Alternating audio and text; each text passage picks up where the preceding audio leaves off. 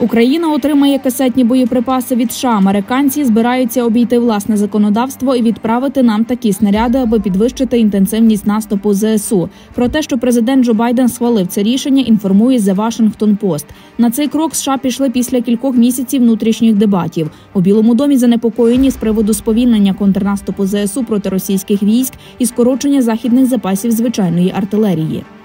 Чому Україні важливо отримати касетні боєприпаси? Росіяни використовують у 3-4 рази більше артилерійських снарядів різного калібру, аніж ми. Касетні снаряди є дуже ефективними і дозволяють Україні компенсувати цю різницю в озброєнні з РФ. За словами міністра оборони Олексія Резнікова, окупанти використовують їх проти нас, тому для нашої самооборони ми маємо повне право використовувати такі ж боєприпаси.